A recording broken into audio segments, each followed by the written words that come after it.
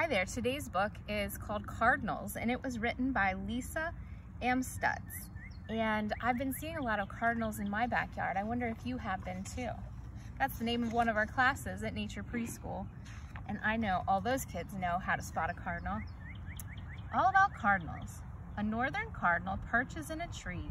It sings a cheery song. Birdie, birdie, birdie. These colorful birds are easy to spot. Cardinal is red.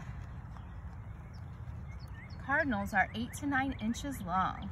Males are bright red and females are light brown with just a little hint of red.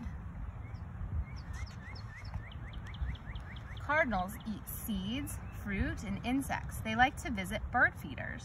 Sunflower seeds are a favorite treat. I know some of our nature preschoolers like to eat sunflower seeds too. Cardinals live in parts of North and Central America. That's where we live. They can be found in forests, fields, and towns. Cardinals make nests in trees and shrubs. The female shapes twigs into a cup with her feet.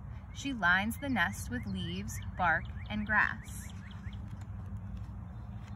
The female lays two to five speckled eggs in spring. That's the season we're in now.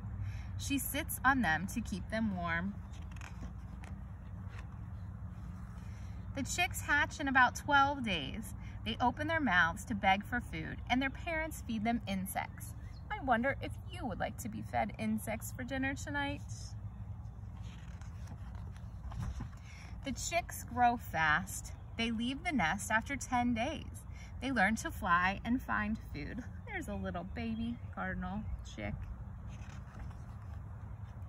It's fun to watch these lively birds. Look for cardinals in your backyard. Something else that might be fun to do is to make a nest out of the sticks and leaves that you find around your backyard. And maybe you even have some plastic eggs laying around. You could pretend to be a mama or papa cardinal. I'd love to see you try. Thanks for watching.